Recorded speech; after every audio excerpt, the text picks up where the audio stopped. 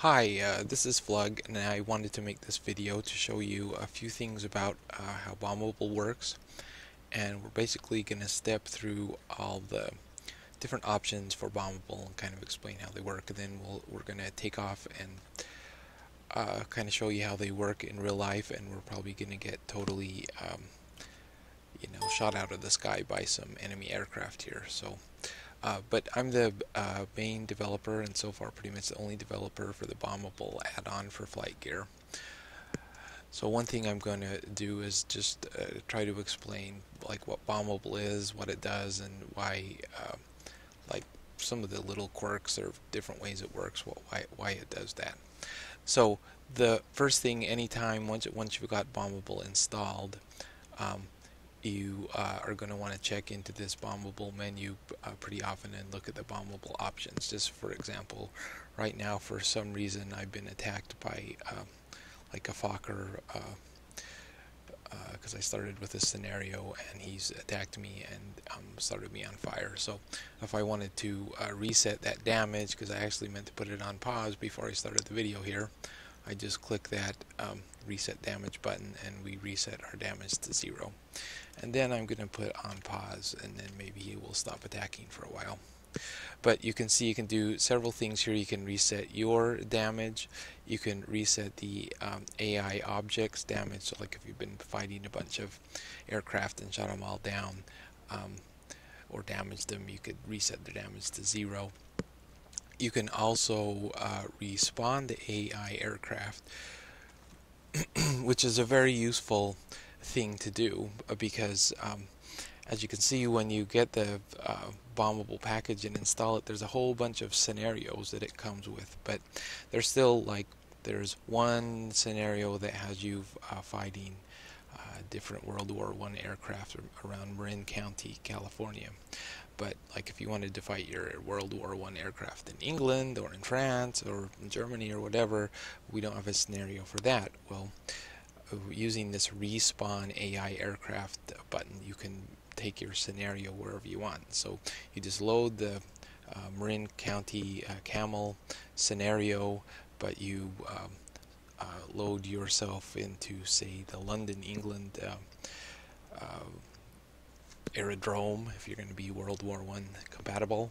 Um, so load it into whatever whatever airport you want to, and then once you get there, just hit this respawn AI aircraft button, and then those aircraft will uh, uh, show up real close to where you are, and they'll start attacking you. There's a different button to respawn the AI, the ground craft or the watercraft. Uh, sometimes it's convenient to do those separately. But like if you're doing a bombing mission with tanks, um, you can load that scenario and then go to wherever you want to bomb the tanks. Maybe go to the Grand Canyon, respawn the tanks, and the tanks will be with you in the Grand Canyon, and you can go and bomb them. So that way, one scenario, like if you have a tank scenario, you only need one, not 500 for every different part of the world, because you can just respawn them where, wherever you are. So that's what those buttons are, and they're also useful. Like if you uh, load up with three uh, World War One aircraft, like I've just done. Um, once you got busy and shot them all down, then you can just hit the respawn button, and you'll have three more aircraft, and you can just uh, play flight gear all day long instead of working or whatever. So um, this uh, button right here is just the master enable or disable for the whole bombable package. So if, if you are getting tired of it or you don't like the smoke or you don't like the, you know, you're just flying around in your Cessna and you uh, don't like all the um, World War II aircraft coming and attacking you, just click here and suddenly all that will be turned off and, and you won't have any more bombable at all. Um, the three uh, select boxes here are ones you use quite a bit and these basically set how difficult it is for you as a pilot and, and how good the AI uh, pilots and, and uh, drivers and stuff are. So the top one is your weapon realism and, and this basically boils down to if you shoot at something how easy is it to hit. Um, if you pick dead easy, if you just get anywhere, you know, within a football field of that thing, it's going to register a hit. And, and honestly, if you're new to this, um, I would suggest putting it on dead easy for a while because it's very, very frustrating to like try to line up behind um, like another camel as you're flying through the air. The, those are not easy to hit, and so uh, put it on easy for a while till you're getting hits, and then gradually move it up to easier and so on. I'm pretty convinced um, even though I've labeled it as ultra realistic. Ultra realistic is probably what I think is close to real life. because you can put a lot of bullets in the general direction of, of say like a Sopwith camel before you actually you know before you actually do any actual damage.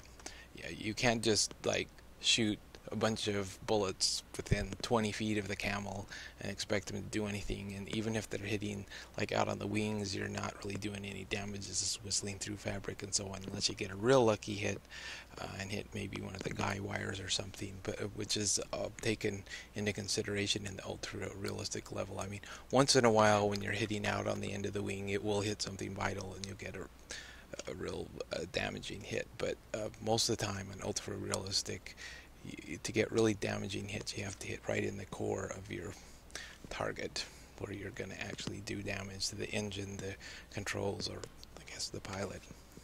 But anyway, the, uh, if you put it on ultra realistic, you're not going to be getting very many hits because it's pretty darn hard. So um, avoid frustration by starting on the easier level, and, and normal is you know pretty good. But I think actually everybody in flight gear talks about we want it to be like real life. Well if you want it to be like real life put it on ultra realistic and then uh, also expect to be frustrated a lot.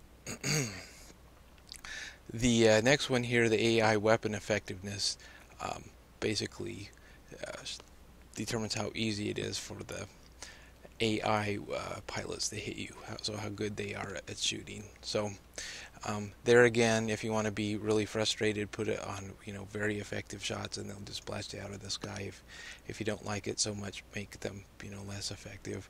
And if you don't like to be shot at all, that's where you can just put it on disabled. But I, you know, uh, what what I usually put uh, myself, which is quite challenging, is normal for mine and more effective for theirs, the AI. And then there's also another setting here which has to do with how good pilots the AI aircraft are. And here again, you know, if I were starting, here's where I would put it. Uh, you know, I'd make them very bad shots. I'd make it really easy for me to hit. I'd make them very unskilled pilots, so they'll just, they won't quite fly in straight lines, but, you know, they're like um, uh, rookie pilots on a, you know, Cessna or something that's basically just flying in sort of a straight line or very slow turns. So they're going to be easy to catch up with. If you want super easy, you can even turn off their uh, uh, maneuvering and then they'll just fly in a straight line. And then that's actually good at first too, if you don't know how to catch them. But um, usually myself, I put it on something like uh, this, which is challenging, but you know, not too challenging. So let me just go through these other settings real quickly. Uh, most of these you don't need to mess with, but if you want to know, here's what they're for. The multiplayer, um, you can do bombable over multiplayer. It works really well. We've, we've had a lot of fun with it. Um, but if like people are pestering you or shooting you down when you don't want to be, just uh, turn it off right there. I usually leave it on all the time uh, and it only works obviously if you're connected to a multiplayer server and so on. So if you're not, you can just leave it on most of the time and you won't even notice it. Um, the excessive acceleration and speed warnings, um, a lot of this stuff, the, the next few, um, as soon as I started putting together this package where you're fighting other planes, you're uh, dogfighting against other planes, it soon became apparent that you had to have some way to account for acceleration and overspeed and uh, and it had to be fair among the different planes. And you couldn't because the way flight gear is set up a lot of times at first I mean you can just get in a plane and just yank the stick back as hard as you want and, and you're hitting 23 G's or whatever.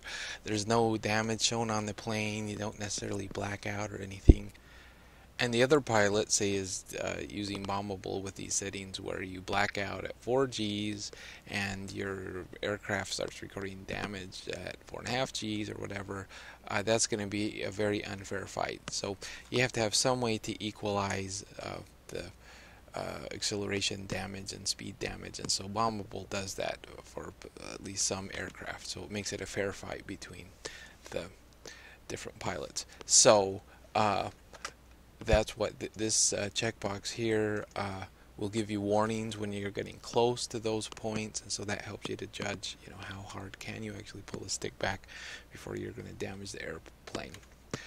Um, I'd say it's not totally realistic uh, because like your Sopwith Camel is not going to flash up uh, a thing in front of your face if you're flying an authentic one that says about to damage the aircraft. But on the other hand, I bet you, you know, if you were flying a real Sopwith Camel and you were starting to put too many G's on it, you you probably have some way of getting a warning, like you'd hear the wings starting to crack or something.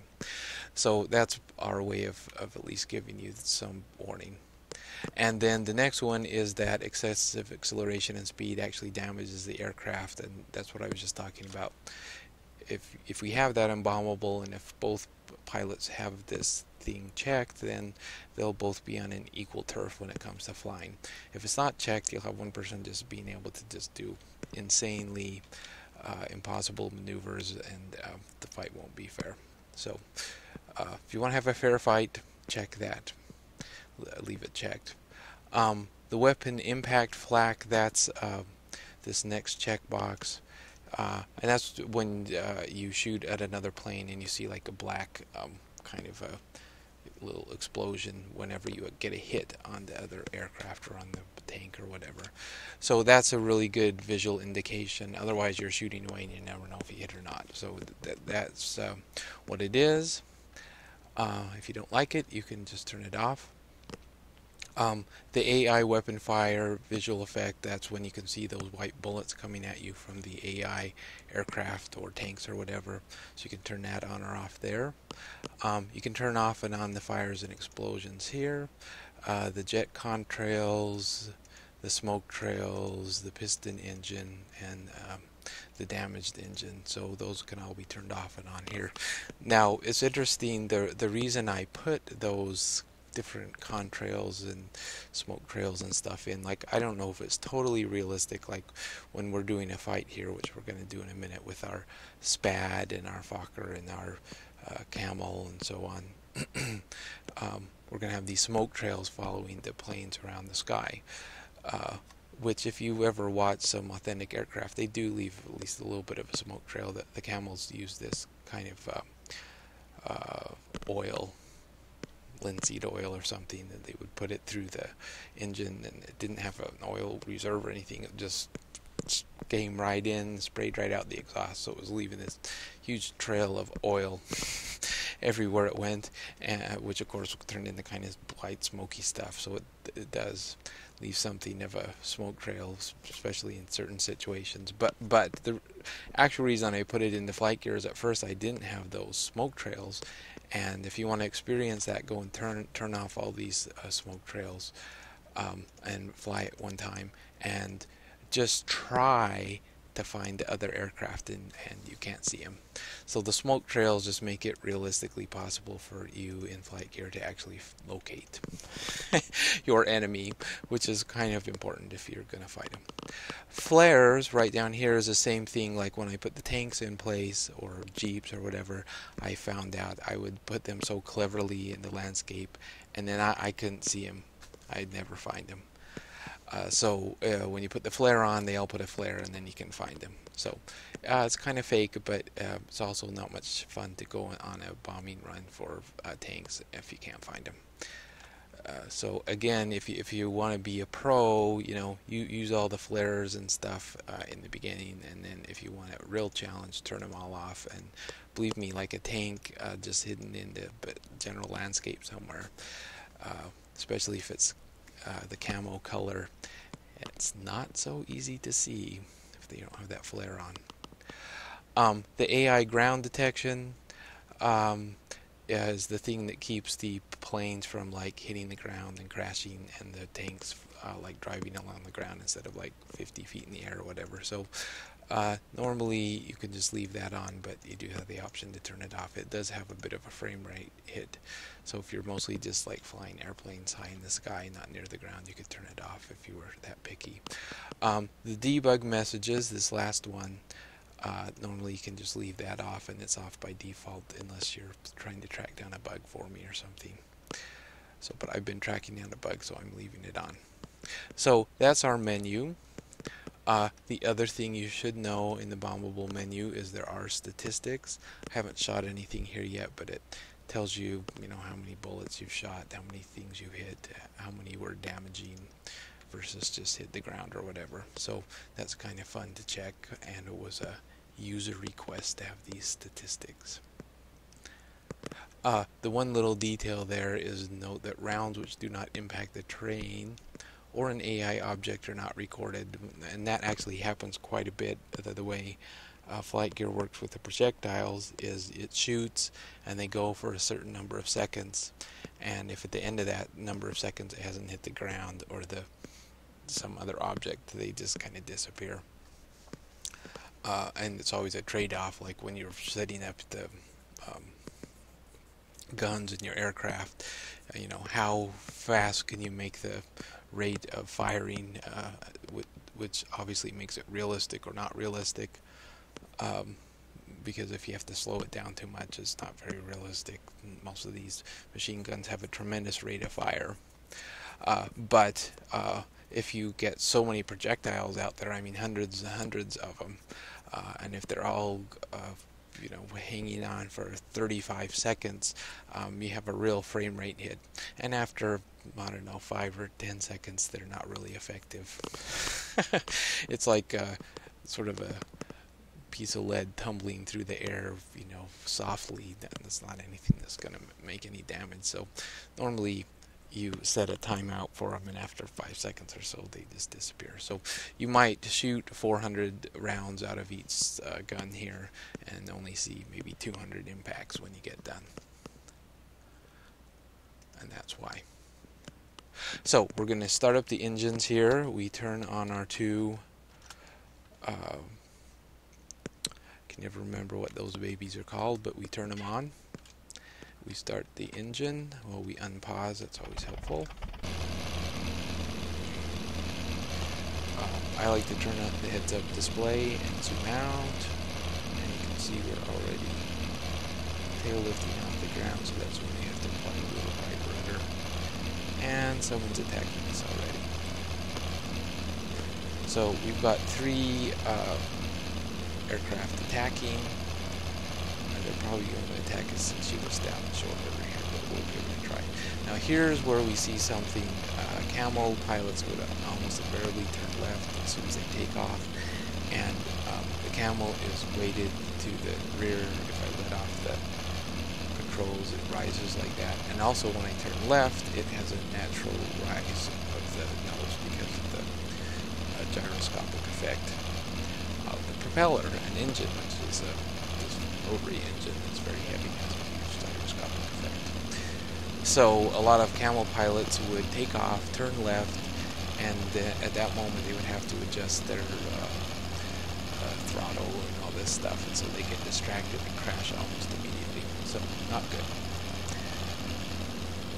But uh, you can practice that if you take off and just let that nose rise or make your left turn, you will soon be stalling and spinning into the ground and you'll feel exactly like hundreds of, of World War I camel pilots who died that way, so that's realistic.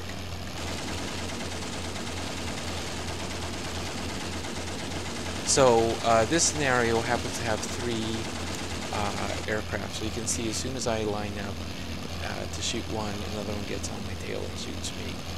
So uh, that brings up, you know, the first rule of the World War One air pilots was never fly straight. So if you do, you can guarantee someone's going to get on your tail and shoot you. But if you don't fly straight, it's real hard to hit uh, any of your enemies. But this brings up the other thing I like to do is uh, use the map. Turn on the traffic, and uh, then you can see where the other aircraft are. And you know, it's not totally realistic. Like they didn't have a magic map back in World War One that were kind of like a radar screen, but um, sure makes it a lot easier to find the people you're trying to uh, attack. So uh, if you do crash, the easiest way to restart is uh, just you know reset with Control uh, Shift Escape. So now I'm back on the runway. Restarting. Zooming out. So we can see I'm giving it a little right rudder just to keep centered on the runway. Yeah, and that's an annoying thing when you restart, even though your throttle was on full, it goes down to low. To kind of jiggle it to get back. So now I'm trying to put this little left, little right rudder, just to keep it centered. I. And that's basically how a takeoff is supposed to go. Now, this is not how it's supposed to go. We've got a camel on our tail. Shooting this taking off. So here again, the left turn have to be careful, see my nose rises if I'm not really attentive, and uh, you would spin right into the ground. I'm going to get my map going again. Oh, yeah, and when I reset, it also resets the AI guys. So have all three immediate vicinity.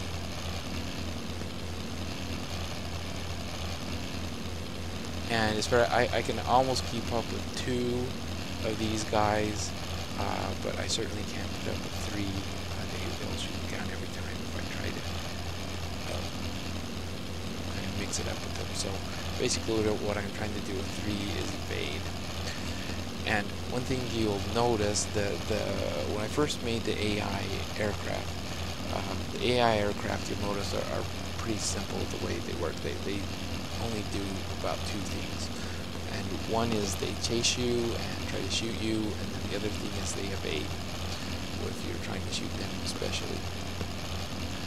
Uh, so, but that's about what World War One pilots did. Uh, they they patrolled. If they saw someone, they attacked. If someone attacked them, they evaded back. So, it's amazing with just that uh, rather simple behavior how, uh, much they act like real pilots.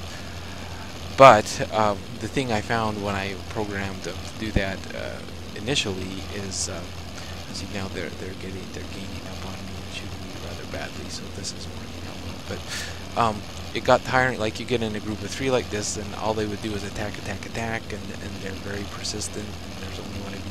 Them, and um, so you would basically get killed every time. And especially like if you get in a pack of uh, six or seven no chance. They just all attack you all the time and never give up, and uh, that's it.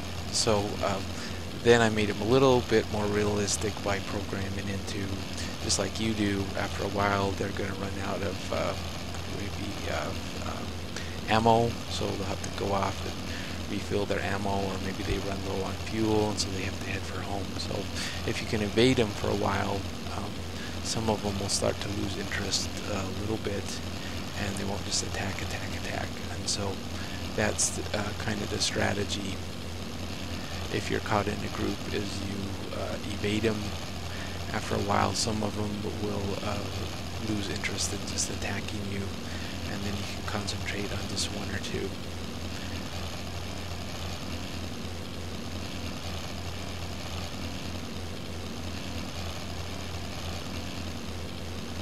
So one of them has wandered off, so I'm at least going to try these two, even though they pretty well did me in at first. Now, the other thing, um, you know, a lot of this, like, like if this were like a, a game, we would sort of enforce all these things, like, uh, you know, if you run out, if you get damaged, and crash, if the restart, whatever. Uh, uh, but being flight gear, we've kind of left a lot of the realism up to you. Just for example, I always play it so that um, if you get damaged, you can't just go into the bombable menu and hit um, reset damage and continue.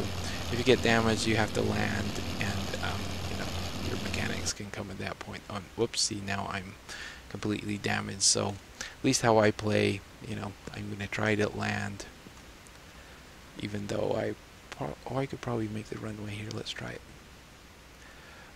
If I'm not near a runway, obviously you can't glide, you know, back to the runway if you're 10 miles away from it. Um, so, but I just land in a field somewhere. That's what real camel pilots would do, and then I guess my repair guys would, you know, drive out to meet me or something. But this actually worked out very nicely here.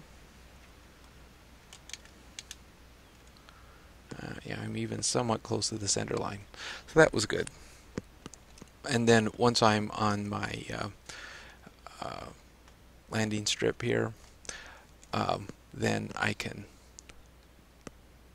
repair my damage. You can see I'm on fire pretty good. I was probably killed there, but we're not going to simulate that. Uh, and then it does enforce the reload gun. See, I never use the unlimited guns uh, unless I'm really you know feeling unauthentic but um, you can't reload the guns unless you're on the ground and the engine is stopped. And I'm thinking I'd like some feedback. Uh, you know I think we should maybe enforce this. You can't reset your damage either unless you're on the ground with the engine stopped because that would be another layer of realism and it makes it a lot more fun. I mean, obviously, if you just go in here and just put everything on easy and put everything on unlimited guns and just repair your damage instantly, I mean, you can just blast everybody out of the sky. But if you make it more like a real mission where you're coming to the airport, um, you know, like in this case, your airport was under attack, so you have to take off under fire and get shot down. So you come back, you repair your damage, you take off. Uh, you know, it's pretty challenging to actually kill the even the AI uh, aircraft under those conditions. A and I don't know, I get hours of fun out of it, but um, you might be different. Anyway, one, one little quirk of Bombable is once um, you've been shot down and how it signals that you've been shot down is your engine turns off. Once that's happened, um, you can't restart your engine. What it does is it turns off the magnetos, which are down here. Uh, that's what I couldn't remember earlier. So um, to make it restart you have to just flip your magnetos and that brings it back to life. So it's kind of a defect there where it probably should show the magnetos flipped off since we flipped them off but for some reason it doesn't. So you just have to toggle like one magneto off and on again and you can start again. There again, if we were making like a World War One uh, flight game, we'd probably simulate you were shot down, your wing fell off in flames, and you jumped down in a parachute and so on. But, but being flight gear, we're just, the fact that it gave you a message and flipped off your engine is just a signal that, yep, you were shot down.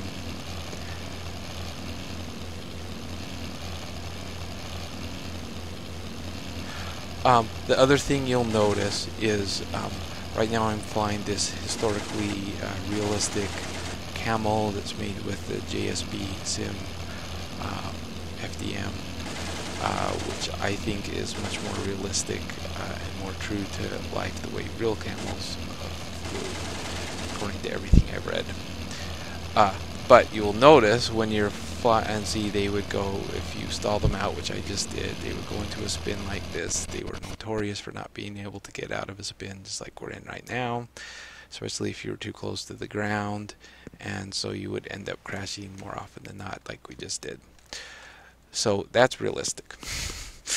Um, but you'll find that the other aircraft uh, uh, that you're fighting with are not necessarily as realistic. They, they do all these loops and they fly up and down and and you can't necessarily follow in middle of light. Like this one we were fighting is, is a camel too that should match us. Well, the, the reason for that is I uh, when I programmed those AI bots, I was program programming them to, to exactly match the YASim camel that uh, was in flight gear at that point. This is probably about version 2.6 or so. And so if you get, uh, if you use uh, the YASim uh, camel that uh, comes with the bombable package, it will exactly match the uh, AI camel. You can follow the smoke trails up down exactly what it does. But if you're flying this historically realistic camel, um, it's actually much more realistic in what it can do, and they can you can't do all that stuff. So one of these days we're going to get together and um, we'll make a, a some World War One AI aircraft that match this historically realistic um, JSBSim uh, model. But for now, uh, you just have to kind of realize that you're uh, flying against uh, enemies that are a little bit more capable than you are. They can climb a little bit faster, they can drive a little bit faster, and so on. Uh, but they also have some um, deficiencies that you can exploit. So I'll leave you to figure out what those are, but uh, you can usually uh, get them uh, once you've had a little bit of practice. And especially, like I say, your your main strategy with these is, figure out where your enemies are with the map. Uh, keep an eye on them. Don't fly straight, because if you fly straight, they'll get on your tail and they will shoot you down. So I just wanted to invite you to uh, give Bombable a try if you haven't done so. It's it's an add-on to the Flightgear Flight Simulator. The download download links are in the description of this video. And um, you can also try the historically accurate uh, JSBSim uh, Sopwith Camel. Uh, that's a separate download. It's actually part of Bombable, but we kind of split off development on the Camel to try to get it uh, nailed down. Uh, when it's done, we'll, we'll, merge it back in with the Bombable package. But for now, you want to uh, download Bombable and install that which includes several aircraft that are compatible with bombable but then you'll also want to include the uh, JSBSim. Uh, camel as well because that is a much better uh, flight dynamics model than um, really anything we've had before in uh, Flightgear as far as World War One actually uh, uh, combat-ready aircraft uh, that that really fly the way those old aircraft did and have all the same sort of positives as as well as negatives. You know, they'll, they'll spin, they'll they'll stall, they'll crash, uh, they'll like I'm doing here. Um, if you get to uh, too high speeds, it'll start to vibrate and shake and shimmy and do all this crazy stuff. But uh, it's exactly what the old real camels did. So uh, get the bombable and also get uh, the additional camel and give them a try. And you can try them either with the AI scenarios that come with bombable, which are fun and give you an idea of how it works. But but really the most fun is to put them onto multiplayer and uh, uh, Hardy and I often uh, fly around the Marin County Airport, at CA35 in uh, California. It's just north of KSFO where a lot of Flightgear people fly. So uh, it's a lot of fun and you can, uh, if both pilots have bombable and both pilots have like a Sopwith Camel, uh, you certainly can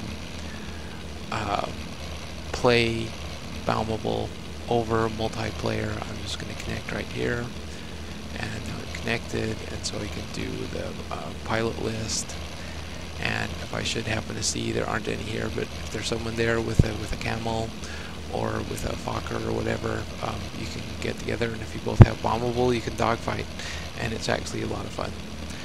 So give it a try. Uh, it really does work. It really is a lot of fun. It really is you know pretty authentic. And uh, gives you a whole new dimension to your Flightgear experience.